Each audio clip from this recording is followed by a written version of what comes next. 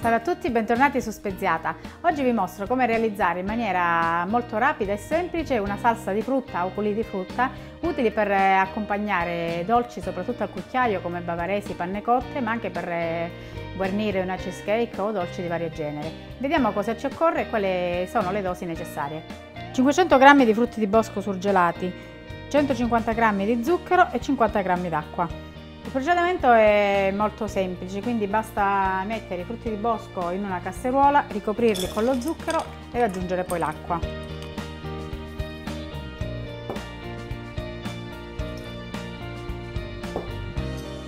Diamo una rapida mescolata e portiamo il tutto a bollore.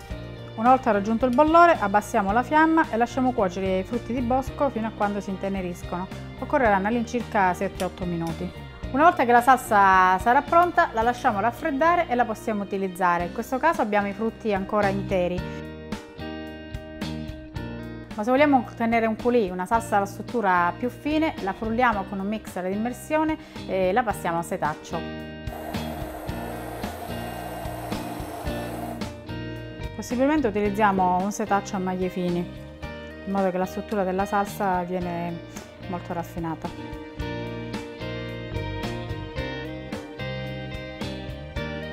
Questa è la giusta densità che dovrà avere la salsa una volta che si sarà raffreddata.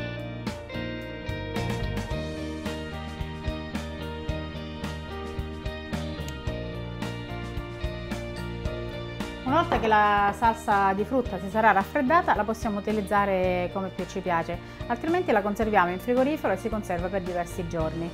Quello che vi ho mostrato è il metodo per eh, realizzare i culli di frutta utilizzando la frutta surgelata, come in questo caso i frutti di bosco, ma potrebbero essere dei mirtilli, delle fragole, delle ciliegie o altro. Se invece vogliamo realizzare un coulis di frutta utilizzando la frutta fresca, il procedimento è mm, praticamente proprio diverso.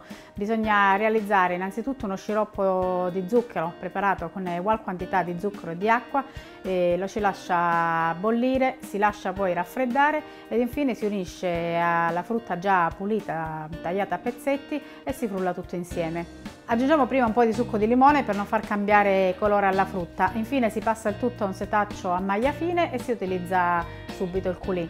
Se invece vogliamo conservarlo sarà necessario pastorizzarlo, quindi portare il tutto a una temperatura di circa 70 gradi. E per alcuni tipi di frutta però non è con, eh, consigliabile la pastorizzazione perché cambiano colore, come nel caso di kiwi, cachi, lamponi o fragole. Esiste inoltre un altro metodo per realizzare i culli di frutta, eh, ancora più rapido, completamente a freddo. Si frulla la frutta con eh, dello zucchero a velo, un po' di succo di limone, si passa il tutto a setaccio e si utilizza però subito. Provate anche voi a realizzare i culli di frutta, grazie per la vostra attenzione e se vi va continuate a seguire Speziata.